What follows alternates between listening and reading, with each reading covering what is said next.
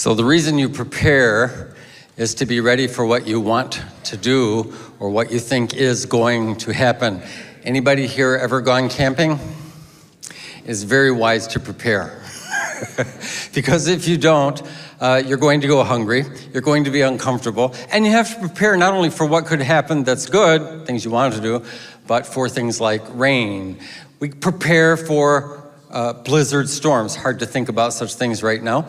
Uh, we prepare for bad weather, for power outages. Uh, we prepare for something as simple as if I'm driving somewhere and it's, it's a Buffalo Bills game. I want to calculate my time going through Buffalo because if you are going through Buffalo as the game is getting out, you are not going anywhere.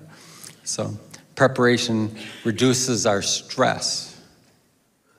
And this is really important because Jesus is going to talk to us about end time realities.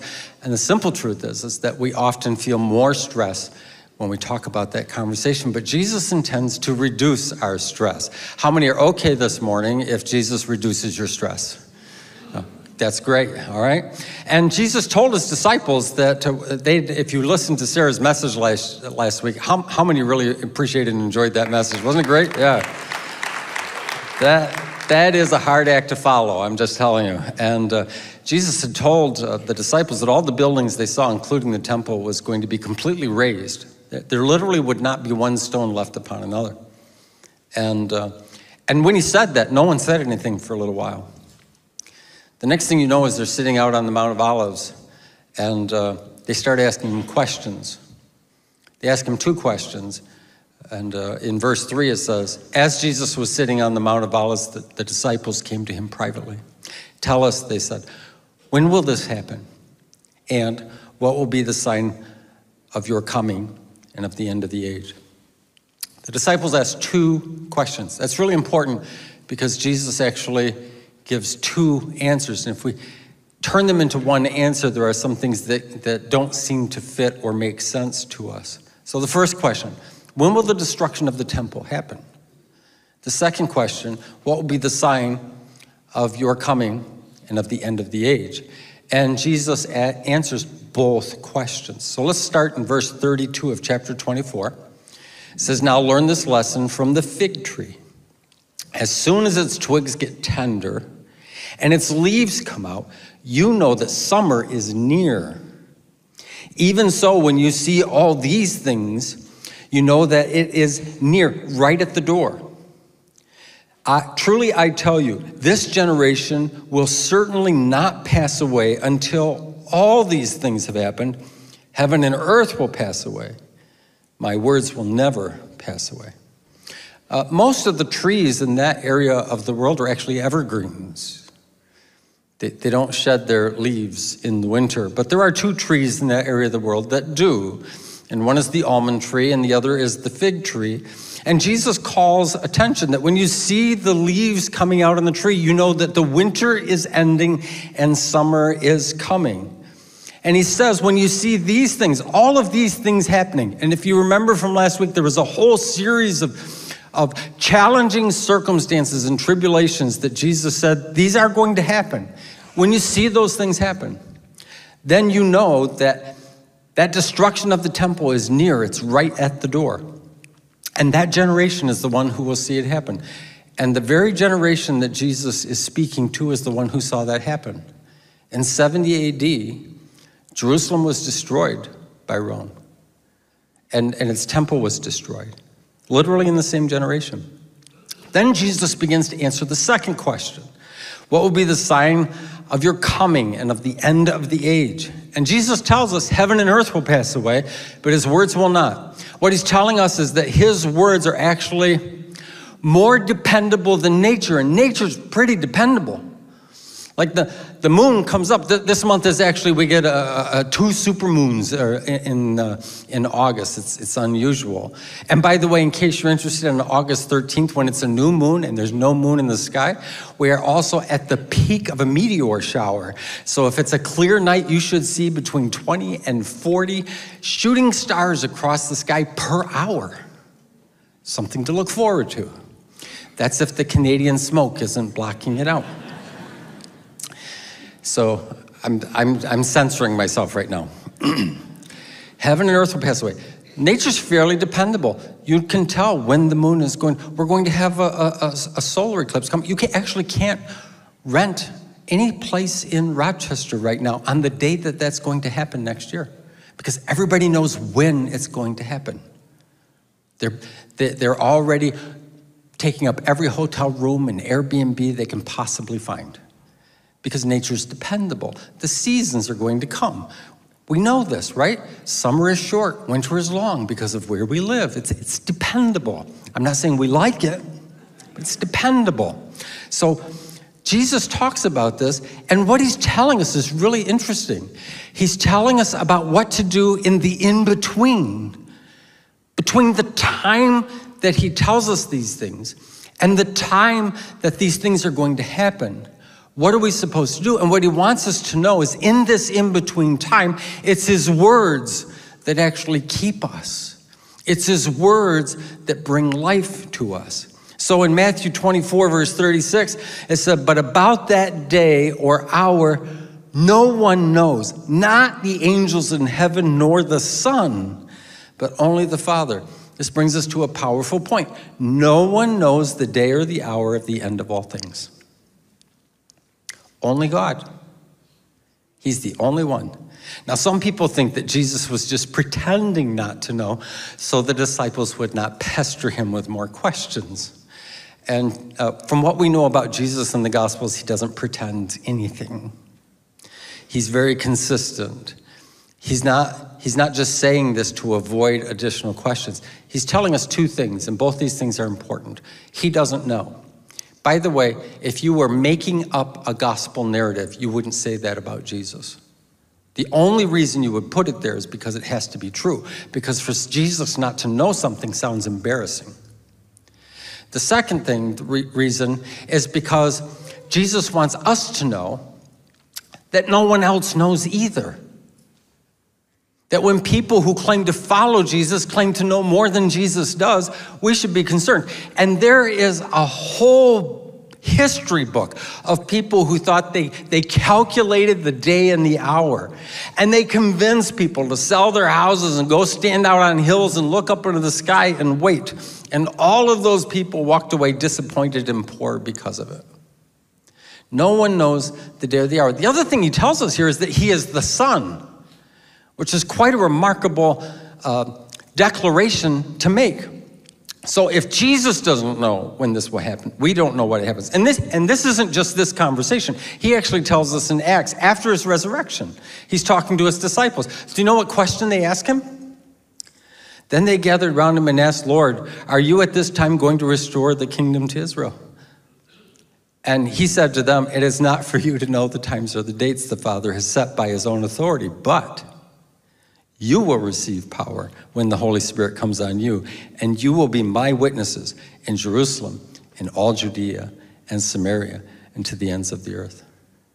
Jesus keeps reminding us it's not for us to know. All the time we spend trying to calculate when the Antichrist is going to be revealed, when Jesus might return, Jesus says it's not for us to know. Uh, just look at the person next to you. You have to smile when you say this or they'll get angry. So put your smile on first and then say, it's none of your business. Just, right? It's none of our business. Then in verse 37, as it was in the days of Noah, Jesus says, so it will be at the coming of the Son of Man. For in the days of Noah, uh, before the flood, people were eating and drinking and marrying and giving in marriage up to the day Noah entered the ark. And they knew nothing about what would happen until the flood came and took them all away. This is how it will be at the coming of the Son of Man. What is Jesus saying? There's no way to know. There's no specific thing that will happen that will, will clue you in. Oh, that's when it's going to happen. Before the flood, people were eating. How many here how many have eaten? There should be more hands. I saw how many donuts walked in here this morning. I, you're not just looking at those things, I know. And, and drinking. And, and, and, and this is like the, the summer of weddings. It's just a lot of weddings happening. And what's he saying? Life is going to be very normal. Very normal. Mark's gospel only devotes five verses to this dialogue. Matthew is almost 60. We're getting a lot more information here. As in the days of Noah, people didn't understand, they were clueless. They didn't know what was about to happen. So Jesus tells us how normal things will be before he returns. We can't predict the end of the age, but we can prepare. We can't predict, but we can prepare. The problem in Noah's day was that there was huge indifference to spiritual things, and they didn't care about what an end would look like. Noah did, and as a result, he was prepared when the flood came. I think a lot of people live today without thinking about the end of their own lives, much less the end of life as we know it. So, what does Jesus say about his coming? Two men will be in the field, one will be taken, the other left. Two women will be grinding with a hand mill, one will be taken, the other left. Who does Jesus return for? Not special people. What place does Jesus return to? not religious settings. What are the people doing that he returns for? They're working. This is important. Taking the return of Jesus seriously does not mean we take work less seriously. It's amazing how many people think that work doesn't matter just because they're thinking spiritual thoughts. And what's interesting is the workers are doing the same jobs. It's not like there's, there's holy work and there's unholy work. The men are in the field, the women are, are grinding a, a wheat. Like they're all engaged in the same kinds of activities. There doesn't seem to be much of a difference. Peter would talk about it this way in 1 Peter, the first chapter. He says, Therefore, with minds that are alert and fully sober, Set your hope on the grace that is to be brought to you when Jesus Christ is revealed at coming. See, we cannot calculate the date of Christ's return. What we have to do is look forward to something. And this is interesting. When Peter talks about this, it's not looking forward to something that you fear. It's looking forward to something that is good. What does he say? To the grace that is going to be revealed. Isn't that an interesting way to think about end times? I was raised in a house where when we talked about end times, and I was raised in a church when we talked about end times, it was terrifying. And as a child, I used to be worried that Jesus would come and go and I would miss out. And I can remember coming home one time and nobody was in the house. I was just a kid walking home from school and nobody was in the house. And my thought was, Jesus came and I missed it. Anybody else ever do that? Yeah. If, if that never happened to you, good. That did not make me more spiritual. It didn't. So Jesus tells us to be aware, be alert, pay attention to what? Are we supposed to be constantly going with one eye up in the sky, just seeing if is, is he coming? No. He gives us quite a remarkable different thing to focus on, and it's surprising. How do we prepare? Not by standing in hills and looking into the sky. How do we prepare? This is what it says in Matthew 24, verse 42. Therefore, keep watch, be prepared. You do not know on what day your Lord will come. But understand this if the owner of a house had known at what time of night the thief was coming, he would have kept watch and would not have let his house be broken into. So you also must be ready, because the Son of Man will come at an hour that you do not expect him. If you've ever had someone break into your house, they never send you advance notice. They never say, somewhere around 1230, if you guys could be gone, that would make it easier for me. That's not what they do. There's not a way, being ready is not about predicting the time. Being ready is about something else.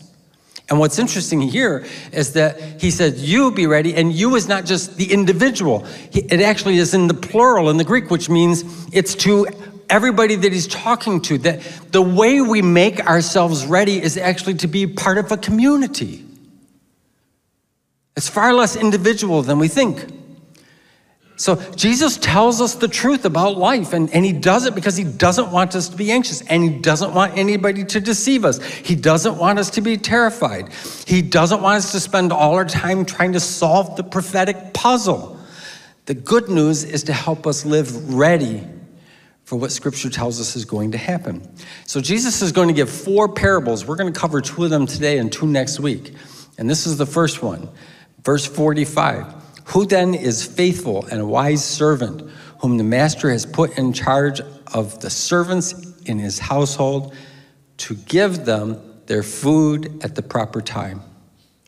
It will be good for that servant whose master finds him doing so when he returns. Truly, I tell you, he will put him in charge of all of his possessions. But suppose that that servant is wicked and says to himself, my master is staying away for a long time. And then he begins to beat his fellow servants and to eat and drink with drunkards. The master of that servant will come on a day when he does not expect him, and in an hour he is not aware of it. And now it's going to get rough, all right? So this is, we've moved from G rated literature to uh, parental discretion is advised.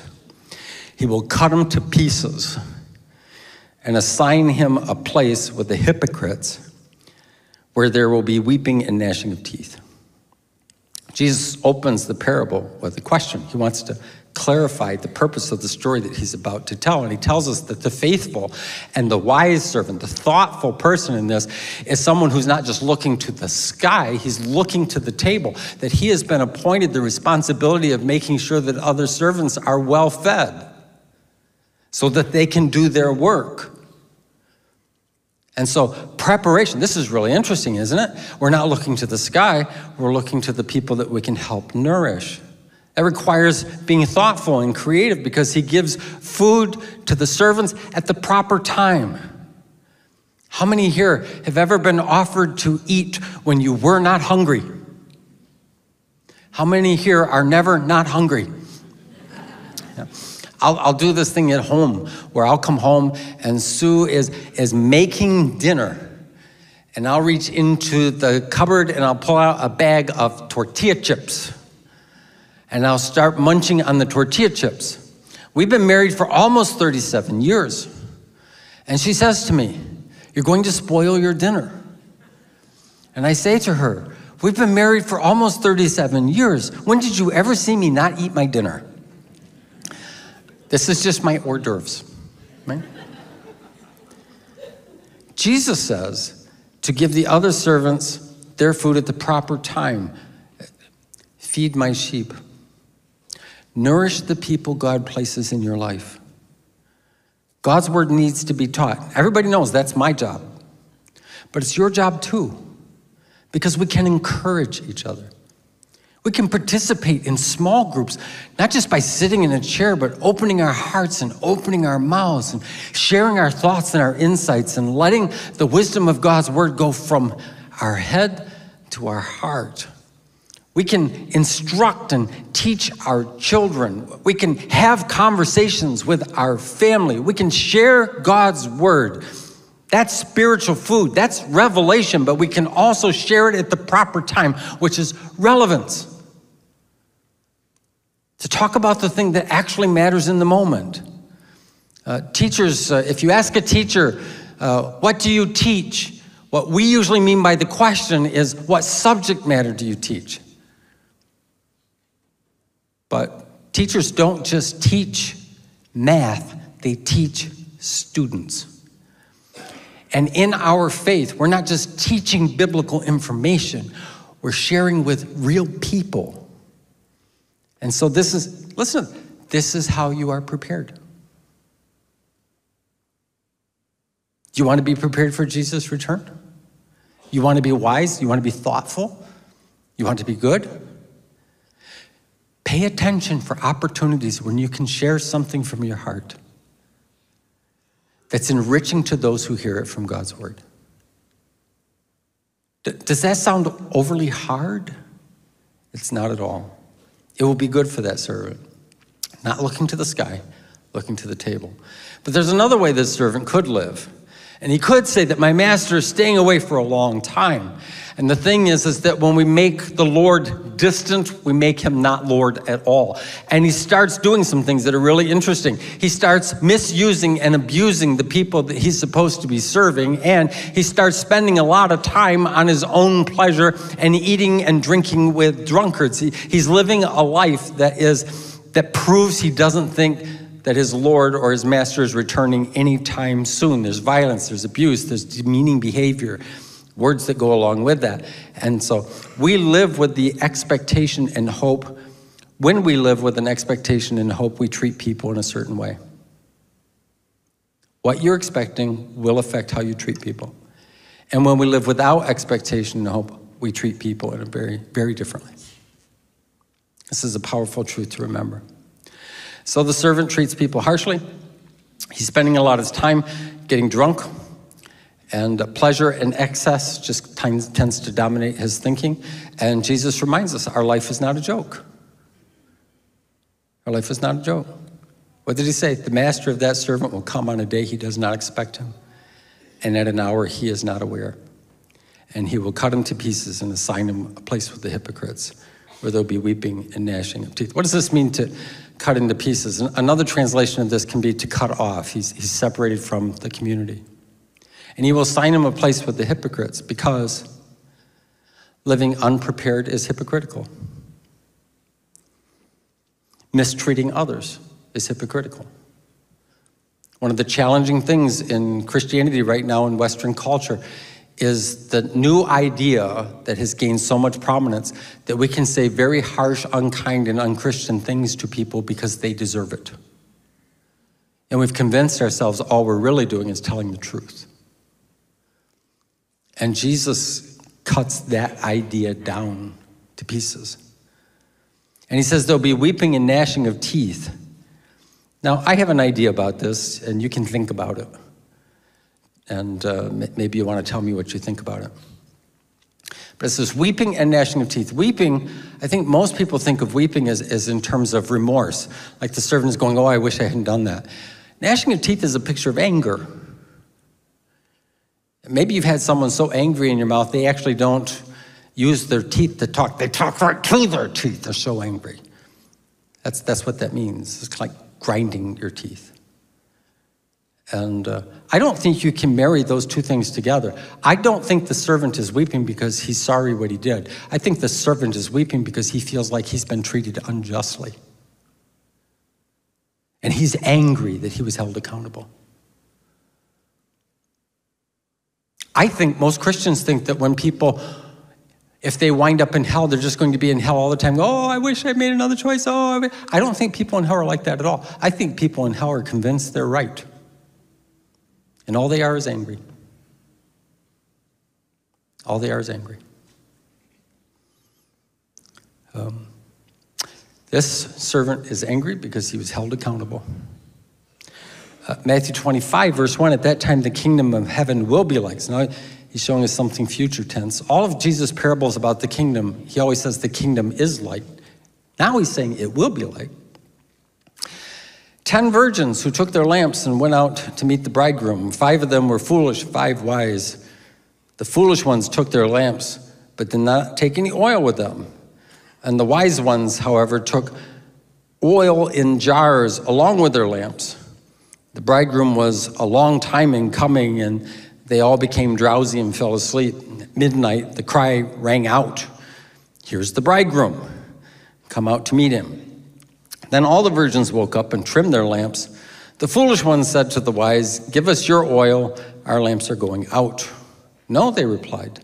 There's not enough for both us and you. Instead, go to those who sell oil and buy some for yourselves. But while they were on their way to buy the oil, the bridegroom arrived. The virgins who were ready went in with him to the wedding banquet, and the door was shut. Later, the others came and said, Lord, open the door for us. But he replied, Truly, I tell you, I don't know you. Therefore, keep watch. Be prepared, because you do not know the day or the hour. We're already made uncomfortable. Ten virgins, and uh, we don't like the use of that word because of what it represents to us versus what it represented to the culture Jesus was talking to. For a person to not be married and not sexually involved, that was considered an honorable thing back in Jesus' day. In our day, it's just considered an embarrassment. If a person is not sexually involved, they don't even want to acknowledge that to other people because our culture basically teaches that if you can somehow manage control of your desires, that reveals one of two things about you. Either you lack desire or you're undesirable. So our culture has no respect for people who control their sexual appetites. And usually, if you are controlling your sexual appetite, it's not something that you readily acknowledge. In fact, you might even be dishonest about it. That's not the people that Jesus is talking to. He's talking to a very different group, but that's something that they did not think was embarrassing. And there's not a lot to distinguish between these 10 women. There's five wise and there are five foolish, but and, and they all fell asleep. So what was the distinction? And the distinction had to do with, with their preparation. Five brought oil with them, and five did not bring oil with them. This is fascinating to me. I, uh, I think I've told you, Matthew has been a really challenging gospel to preach through because he's, he's complex and he refers a lot of times to Old Testament. He puts out thoughts that you have to think about it. It's not always obvious.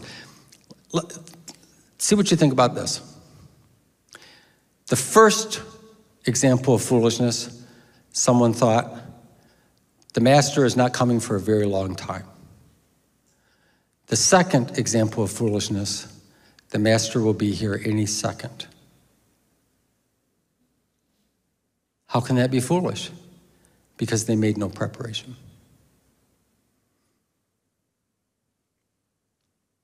There's a way that we can think. If, Jesus, if we think Jesus is coming any moment, there's some things that become less important to us. We don't prepare. That it's not about whether you think Jesus is coming a long time away or a short time away. We can be foolish in any of those assumptions. Jesus is actually telling us prepare like it's going to be a while, but stay alert like it's any moment. And how do we stay alert? We stay alert and we pay attention and we are aware by doing two things. One is to be prepared. If, if God is asking you to do something for Him, prepare for that. But it's also by finding ways to nourish those around us on a daily basis. That when we do that, that is how we are prepared. It's a fascinating thing. Living out the gospel in our life takes preparation. It, it is great to come to a service where everything is prepared for us. How many are glad the donuts were there? I was. And I didn't even eat a donut. I was just glad that because they were there, people would not complain about them not being there. It's kind of like that, right? But how do we prepare ourselves? It's great to experience God, but how do we serve God? It's unwise, it's unwise to assume that what we have right now is enough. We can grow, we can mature, we can learn, we can develop, we can invest in our understanding of Scripture, we can be equipped to serve others. That's part of the preparation. I wish I could tell you that an experience with God is enough. You have an experience and you will be changed the rest of your life. Scripture does not agree with that. There were Israelites who traveled for 40 years in the wilderness of one experience after the other, from an entire Egyptian army being destroyed as they walked through a mighty uh, uh, deliverance in the Red Sea, to the supernatural supply of water and, and manna or bread every morning for them, and all these things that God did, victory after victory and experience after after experience, and they never changed. They never changed the way they thought. They came out of slavery and they lived like slaves the rest of their lives. Experiences are good, but they're not enough. And if all we do is seek an experience, we will not be prepared for what God is calling us to do. So, oil can represent a lot of things. It represents God's purposes. For example, kings and priests in, in Scripture were actually anointed with oil. It was God is setting them aside to do something. Oil can represent healing and restoration. James 5 talks about anointing people with oil when you pray for them when they're sick. Oil can represent understanding and guidance, that the Holy Spirit can guide and direct us. The example of, of, of having oil to light the lamp in the house so that the light can shine. Um, oil can represent gladness and celebration. Uh, Psalm 45 talks about that, the oil of joy. While we are waiting for Christ to return, we can invest in how God is setting us apart. We can invest in the healing and restoration of others. We can invest in understanding more of God's purpose in our lives and in our world. We can invest in the gladness and the celebration of coming together and remembering what God has done for us and noticing what God is doing for us. The door was locked when I asked the worship team to come up. What a great time to ask them to come up. The door is locked. Worship team, come up. the opportunity was lost. Uh, I think this is important to hear. Jesus loves us as we are. If you didn't change one thing in your life, God will not love you less.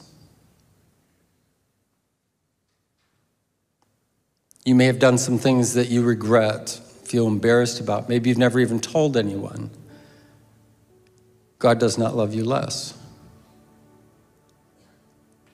You may have walked out of relationships. You may have done things that were illegal, unethical, improper.